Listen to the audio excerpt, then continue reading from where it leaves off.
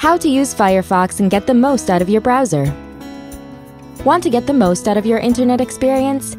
Check out the latest and greatest tips from Mozilla's Firefox. You will need a computer with internet access and Firefox. Step 1. Browse multiple websites from a single Firefox window with tabs. Click the plus sign to open a new tab then type a URL or search item right into the location bar as if it were a new window. Click and drag tabs to reorder them in a window or to move them to their own windows.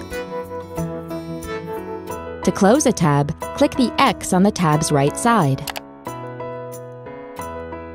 When searching, switch the search engine you use by clicking on its icon in the search bar. Step 2. Make Firefox's settings work for you. In Windows, select Tools, then Options to set your own homepage. Save your tabs for the next time Firefox starts. Pick where to store downloaded files. Change your tab settings. And much more.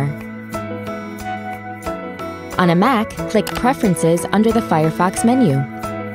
You can always restore Firefox's default homepage.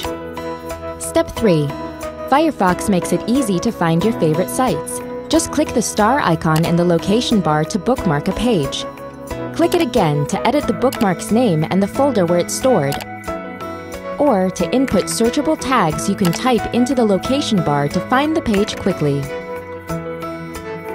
To view bookmarks in the browser window, press Command and B on a Mac or Control and B on a PC. Step 4.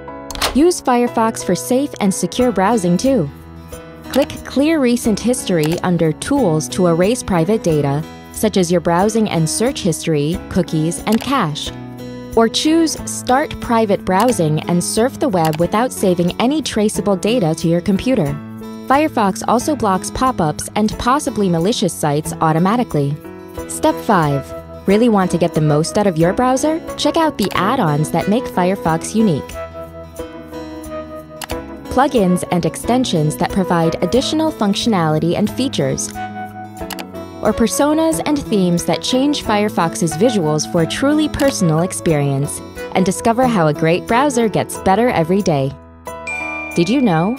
The Firefox support website, powered by volunteers from Mozilla's community, has lots of information about using Firefox.